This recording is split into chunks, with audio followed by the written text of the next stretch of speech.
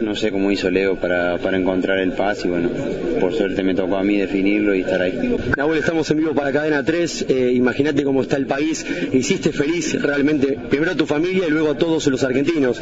¿De quién te acordaste una vez que la pelota ingresó?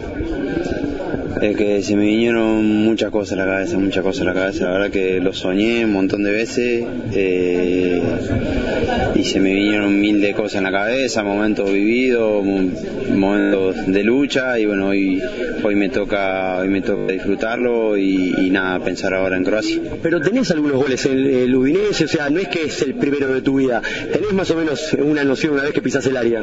Ah, sí, sí, obvio, obvio, no, no es el primero, pero pero eh, con, con, esta camiseta, con representando al país en un mundial eh, eh, es algo que siempre soñé. Muy amable.